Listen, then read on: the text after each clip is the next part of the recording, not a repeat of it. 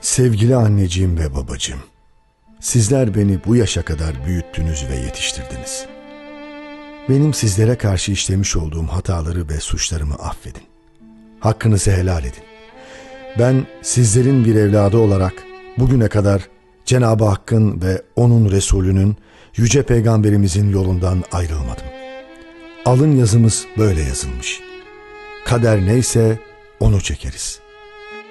Ben de kardeşim Haydar gibi bir an önce Allah'ın huzuruna çıkacağım. Eğer benim günahım varsa Cenab-ı Allah'ın huzurunda çekmeye hazırım. Yok bir yanlışlık sonucu ölümüme karar verenler, idam edenler Allah'tan bulsunlar.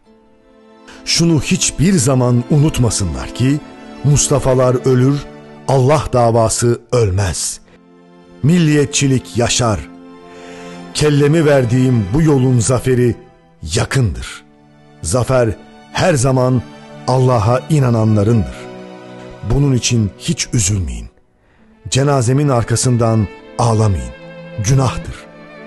Sizden ricam ağlamayın. Anne, sizlerle helalleşmek isterdim. Fakat olmadı. Hakkım varsa hepinize helal olsun. Siz de helal edin. Son olarak abime, yengeme, yeğenime, bacıma selam eder.